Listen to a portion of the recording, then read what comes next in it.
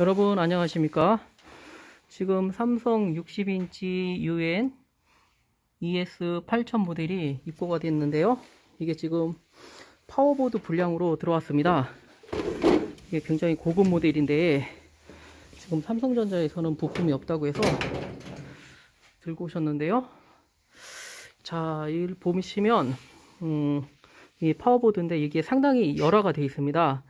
이게 브릿지 다이오드고요. 이 브릿지 다이오드가 죽었고 그 다음에 정류 다이오드 두 개, 그 다음에 FET 두 점, 그리고 요 휴즈, 그 다음에 이거 휴즈, 요거 휴즈 요 정도가 지금 분량이 났고 제가 그래서 며칠 전에 똑같은 증상을 수리를 해 놓은 보드가 있습니다. 예, 공통적으로 이것도 똑같이 새까맣게 그을린 부분이 이렇게 공통으로 나옵니다. 그래서 제가 이걸 지금 교체를 해가지고 정상 작동하는지 보여드리고 수리를 완료하도록 하겠습니다. 예, 이쪽에서 찍어주셔도 되고.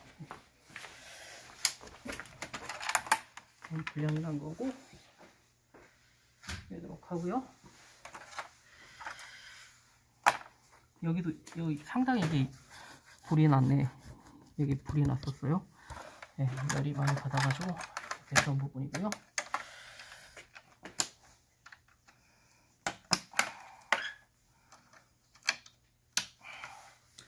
이렇게 수리를 했는데도 그 어떤 문제가 있을 수 있냐면은 네.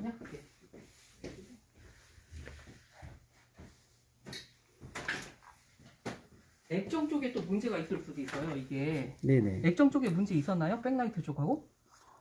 삼성에서 없다겠어요. 없었어요? 네, 점검했는데. 다행이네 그러면.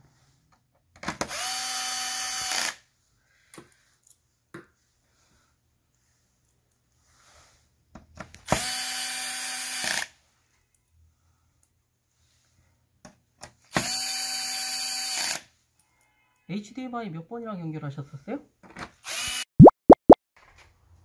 그런가요? 네네. 됐죠? 네네.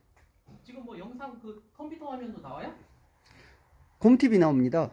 아, 컴, 컴, 아, 공TV 나와요? 네네. 그럼 수리가 완료됐어요, 지금. 네네. 네. 간단하네. 그래서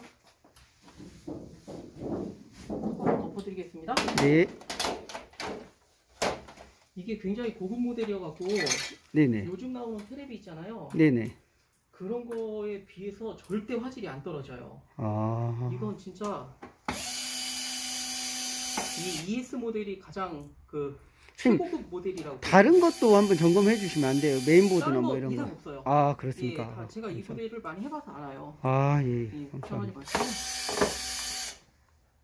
이게 최선이고 혹시 그 음, 이게 문제가 될 수 있는 게 이제 백라이트 쪽하고 네네. 그 다음에 액정 쪽에서 불량이 또 가끔 날 수 있어요. 네네. 그래서 그런 것들 발생하면 그거는 이제 별도로 진행을 하셔야 되는 거는 기억하셔야 돼요. 네네. 이거 파워 수리했다고 해서 나머지 것들까지 아 컴퓨터 파워 메인보드랑 똑같잖아요. 어차피. 그렇죠. 네. 근데 이게 워낙 또 튼튼하게 나오기도 했어요. 실제로. 네. 한번 보세요.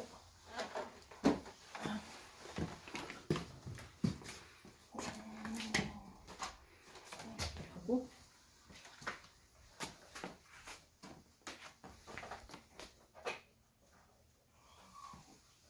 화면부터 하고 좋잖아 사실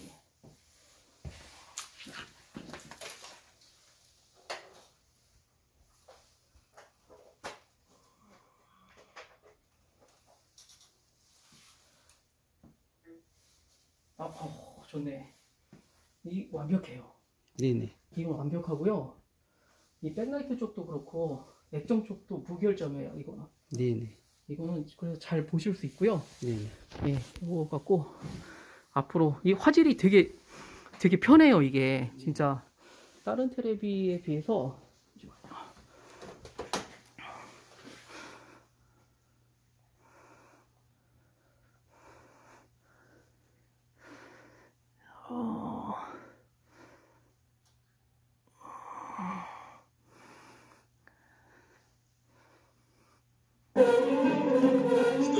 va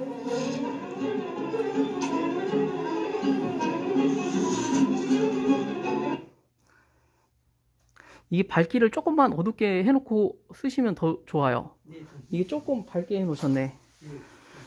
네, 영상을 이것으로 마치도록 하겠습니다. 도움이 되셨다면 좋아요와 구독 부탁드립니다. 감사합니다.